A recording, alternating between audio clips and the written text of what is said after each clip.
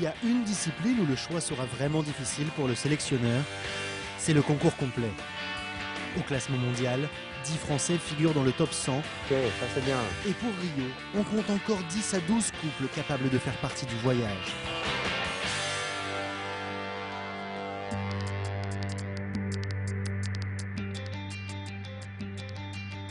Mais avant de traverser l'Atlantique, c'est de l'autre côté de la Manche que plusieurs des couples JO-JEM devaient performer. À Chatsworth, première étape de l'Event Rider Masters. Après, joue peut-être davantage sur l'équilibre, mais pas, pas le bouclier trop devant. Bah, dans le test event l'an passé, on avait vu que c'était plus vallonné qu'on l'avait imaginé. Donc on connaissait ce terrain parce qu'on était déjà venu préparer les Europes de Malmö ici. Et, moi, en tant que juge, j'étais venu plusieurs fois juger les épreuves Coupe du Monde ici. On savait que c'est un terrain qui fait, euh, avec des quelques grimpettes, qui va faire souffler un petit peu les chevaux. Donc c'est aussi bon pour la préparation de ces chevaux. Il est tonique, hein moi j'aime bien ce qu'on fait, j'aime bien en plus le travail avec Pierre Michelet en vue de ces Jeux Olympiques. D'abord c'est lui qui sera le chef de piste, donc euh, c'est très formateur de, courir sur ces pistes. Mais d'aller un petit peu se confronter aux autres à l'extérieur et de voir où on en est, c'était important. Plie-le pour tourner, plie Et à l'étranger, les Français sont observés car ils font clairement partie des équipes favorites. On parle beaucoup de nous cette année, euh, après Belton, après badminton. J'espère qu'on va parler de nous en bien après Chatsworth. On parle de nous, c'est plutôt bon signe. Ça veut dire qu'on fait poser des questions aux autres nations. Ici, euh, on est aussi bien présent sur ce concours. Euh, j'ai rencontré les Irlandais qui sont venus me féliciter, les Anglais pareil. Ça montre qu'on s'approche du niveau qui est nécessaire pour ces grands événements. Mais c'est vrai que d'avoir un groupe un peu plus large, c'est de bonne augure pour l'événement qui, qui est les Jeux Olympiques, mais aussi pour l'avenir. L'avenir proche, c'est le Brésil. Les Jeux Olympiques qui se préparent depuis plusieurs années déjà, notamment sur ce qui était le point faible de l'équipe de France, le test de dressage. Appuie-le à droite là quand tu fais ça, fais de la session. Cherche toujours à le plier, le plier, le plier, tu vois. Euh, le pas, c'est bien la baïonnette, hein. C'est ça et ça. Ouais, sauf que tu allonges que la première partie, la diagonale, et tu reprends quand tu arrives à la piste. Ouais, donc c'est la première partie, euh, première partie HS. piste et, et après, ok. C'est baïonnette. Pense à tenir ton dos Tiens-toi droit Tire tes épaules, rentre tes coudes Après des stages tout l'hiver et le travail à la maison, c'est sur les concours que Serge Cornu affûte les derniers réglages. Quand tu fais les appuyer, tu vas, tu vas trop, tu, fais pas, tu vas un peu avec. Tu as fait comme ça, reste là derrière, toi. Comme des fois, il te met un peu. Euh, tu sais comment il fait Il freine et à ce moment-là, il galope un peu comme ça. Si tu l'as. il va être comme ça là-bas. Et tu le gardes embrayé, tu verras. Des rappels de base et un travail de précision qui finissent par payer sur le rectangle devant les juges. J'ai eu peur pour l'arrêt. Oui, très bien. Allez. 1, 2, 3, 4 et 5. C'est bon. Quand tu le gardes embrayé, tu arrives à le faire, ça. Tu sais le faire en plus. Et ça, il faudra qu'on le refasse au travail. Pas longtemps. Ouais. Tempo du trou, ouais, ouais. Mais je pouvais pas en demander. Mais il était parfait. Mais qu'est-ce que tu vas en demander plus? C'est pas la peine.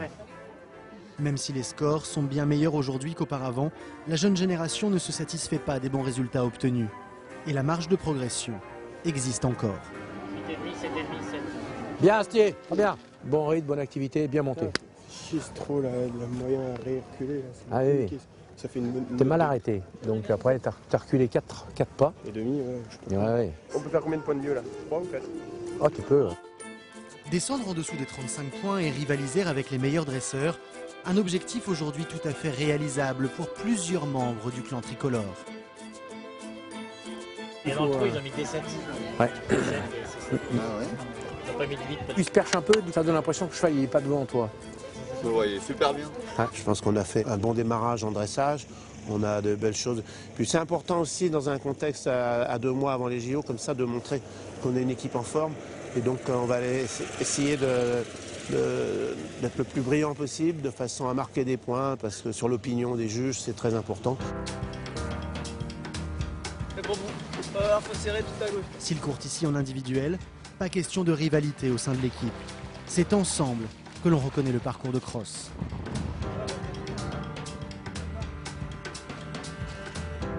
À chaque fois qu'il y a une échéance, il y a logiquement un peu de pression, mais on se connaît tous depuis vachement longtemps. On s'entend tous vraiment bien, on se fait des recours ensemble, on se donne des coups de main. Il y a vraiment une super ambiance. Après, on sait très bien qu'il y en a 5 qui iront, 4 qui courront. Bah, on espère tous y aller et je pense que c'est légitime. Maintenant, euh, on sera heureux. euh, enfin, on- tout le monde le mérite. T'as raison, tout, tout là, ouais. Et il est gros celui-là, ouais.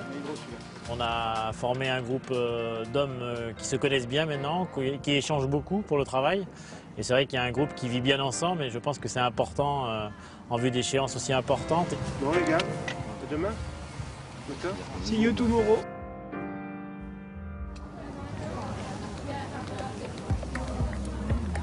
Allez Thibaut, accélère. Ouais. Il prend du temps. Les cavaliers de concours complet restent fidèles à leur réputation de camarades au bon esprit d'équipe. Cet été, seuls cinq d'entre eux seront retenus, sans oublier ceux qui ne sont pas présents ce jour-là. Il s'est passé quoi?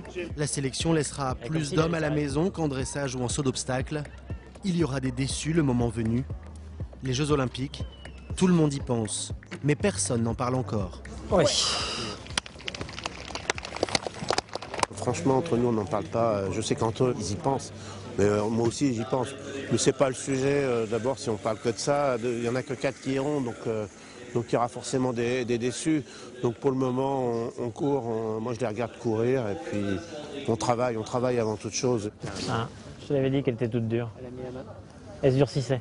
Je sais que déjà entre eux, euh, ça gamberge, donc euh, c'est pas moi qui vais en rajouter. Les Bleus suivent un certain dicton, rappelant que c'est toujours ceux qui en parlent le moins qui en font le plus. Et depuis le début de la saison, les Français font surtout très bien à chaque fois qu'ils sont en compétition. C'est peut-être notre tournée, non? Ici, sur ce nouveau format, on s'élance dans l'ordre inverse du classement sur le cross. Et à quelques minutes de la fin de l'épreuve, Karim Lagouag et Mathieu Lemoine occupent les deux premières marches du podium, encore très provisoires.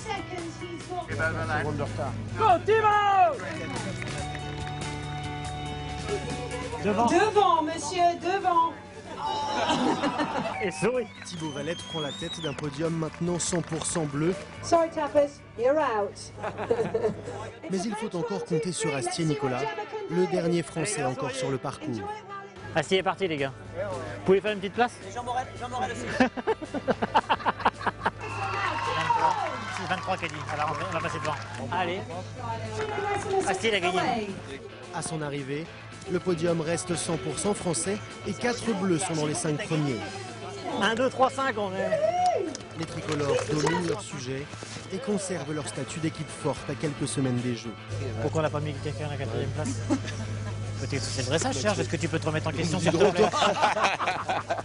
Et, 4 points d'obstacle.